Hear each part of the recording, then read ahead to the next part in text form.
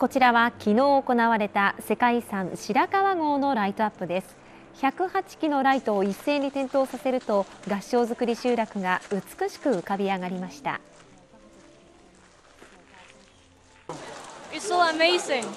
Where are you come from? We are from Hong Kong.